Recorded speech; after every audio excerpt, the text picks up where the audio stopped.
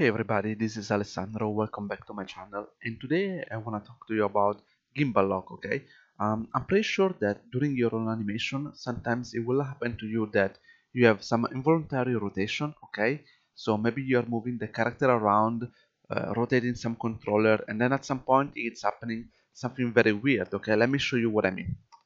So I'm selecting the controller for the arm here.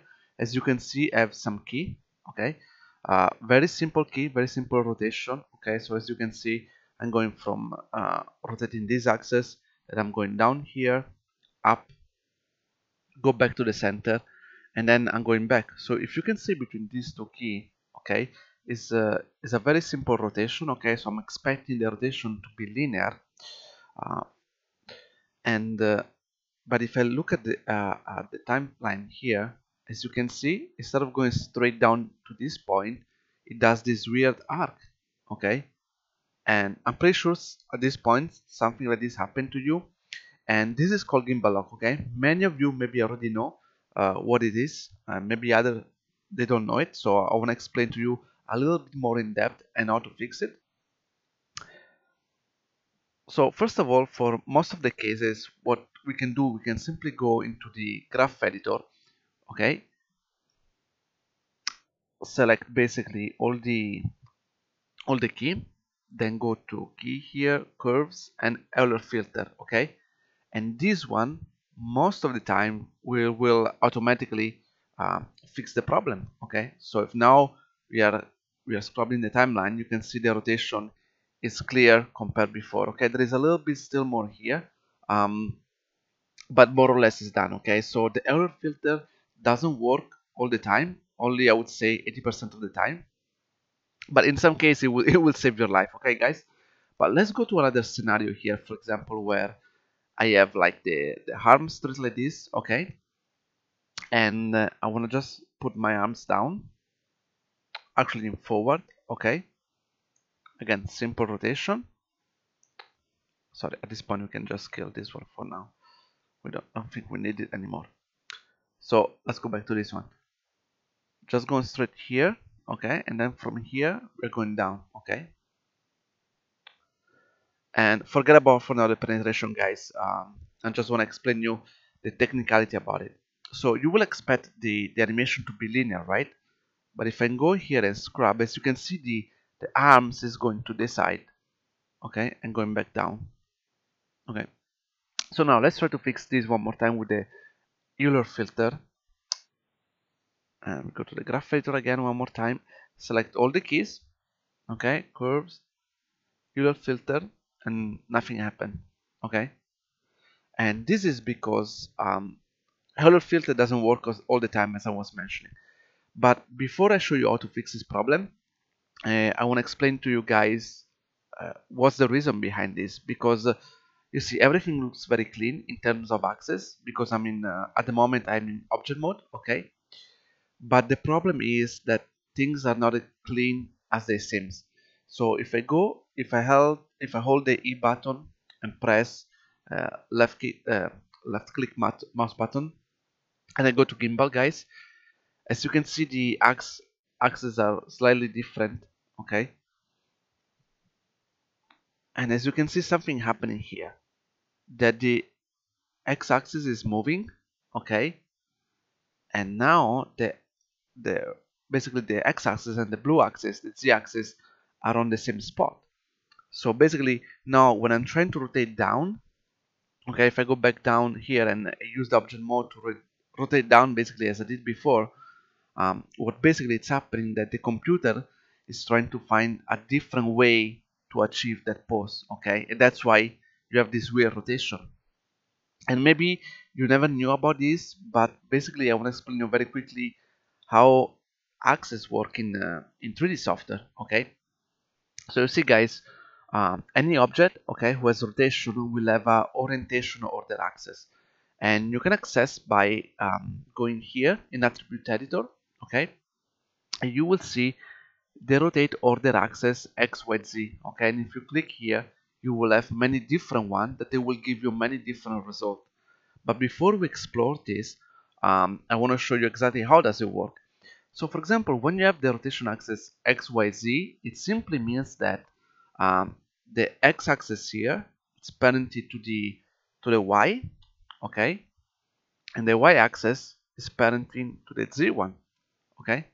I hope it's not the other way around guys. So that's basically mean that um, when you rotate z all three axes are gonna follow okay? If I rotate y uh, sorry let me go back here in object. So if I rotate on y only the x is following and if I rotate x in only in his axis nothing else is moving okay? And of course the problem is happening because of this axis okay? When you rotate this axis about 90 degree okay as you can see now we don't have the other axis here to rotate in the in the, in the forward position. And that's why the the 3d software try to compensate rotating all three axes at the same time guys. And if you want to have another proof about this okay basically what you can do is like um you know moving the let's move the arms in a weird position okay right guys maybe this okay. And at this point you're expecting that if I rotate on Z this will happen. If I rotate on Y this happens. And if I rotate on X this is gonna happen right? So if you go again on the graph editor okay let's make it smaller.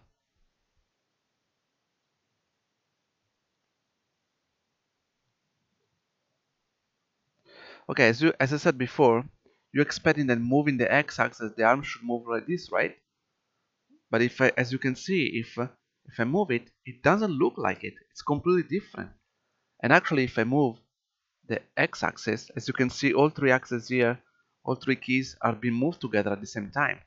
And this is because the object representation is not the real representation of 3D axis. You always have to go in gimbal if you want to keep under control what's going on and as you can see here the axes are all messed up. But in fact now if we're gonna move the y-axis the only axis gonna move is the is the green one okay? You see? I'm moving only the, the green one here. Because that's what's really happening in the, in the 3D software. So the question at this point is how do you fix how do you fix all this mess well to make it very simple is uh, you need first of all to find out the the right orientation order that you need for uh, your own animation okay? So always stay in gimbal mode okay guys? And as you can see now that if I if I choose YZX it's, it's not a good one because as soon as I put the arms down you know it's I, I'm in gimbal mode right now okay? And actually if I'm moving back and forth I might accidentally move two axes at the same time okay? So this one for me is a really good setup okay? Because as you can see when I move the arms down it brings along all the axes and then I can do this okay? Without messing up all the axes around. Um, for example for the uh, for the pelvis here if you you know if you know that uh, you know your character is gonna rotate you know move all around in the scene and move into this direction you want to make sure that you know all the three axes are following when you rotate on the y-axis okay? But if you have like another setup okay like this one for example which is the wrong one as soon as you move the character like this okay now you have the problem because you cannot move it anymore the character on the side a little bit. So my biggest suggestion is as soon as you start your sequence always double check the uh, you know the orientation order of uh, of your character for each single controller okay? And set it up the way you want based on the on the animation that you want to do okay guys? But even in this case even if you do perfectly you're not gonna be able always to solve the problem every time. You know there is always gonna be once in a while um, uh, you know a moment in your own animation where you're gonna go into gimbal lock and you cannot avoid it and Euler filter is not gonna fix it so another great solution is for example having a secondary controller okay?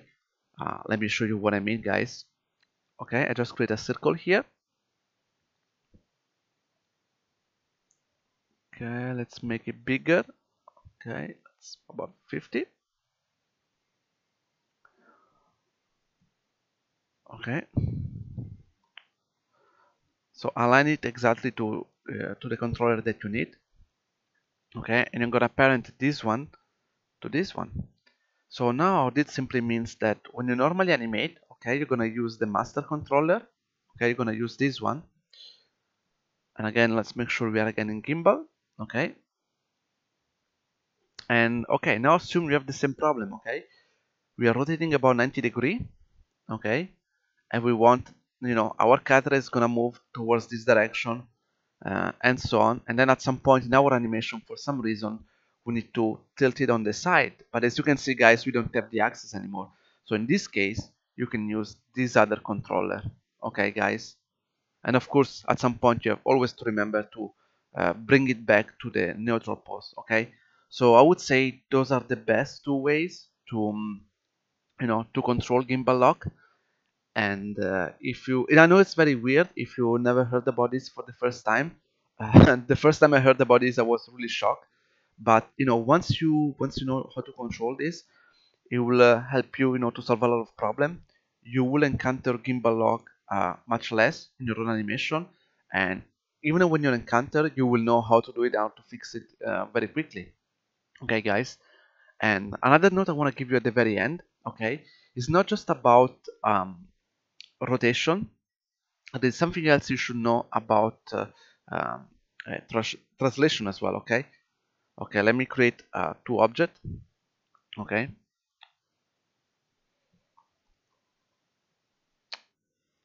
Okay the small cube parented to the big one. Okay so a lot of another mistake they see from people is that oh you know like I want to move my my you know my object like this in the in the 3d space. I have y-axis here z-axis and x-axis okay? So if I do this okay if I rotate my cube like this okay and I put another key and now the y-axis is going this direction. So if I move it okay the y-axis is this okay? And again people open the graph editor you know when you want to clean your your um, your tangent and everything your arc and stuff like that you what you're doing is like okay you know what? I want to adjust the height of this one and I'm expecting it you know the the y-axis moving in this way. So if I'm gonna move this key up and down it's gonna go along this axis right? Well this is actually very wrong because again that's not how it works okay? It's the the y-axis is not based on the rotation of the object but is based on the axis of the object that is parent with okay? So if this little object is parent to this one the y-axis is going to go this direction okay? If I rotate this object in this direction okay now the y-axis is going to go like this okay?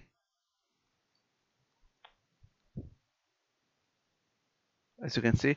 So it's it's very simple once once you understand but I remember when I guys started 3D because I started by myself I had no idea about this and you know I I look at the axis of the object and I assume when I say this axis go in this direction if I move the key here in the graph editor I was expecting to go that direction. And then when it didn't happen it was very confusing especially when I want to clean arc and stuff like that.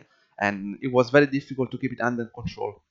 But once you understand the, all this works it's uh, it's very easy to control it. Okay guys? So again another small tutorial you know before the holiday guys I hope you're gonna have a great new year and see you next time. Ciao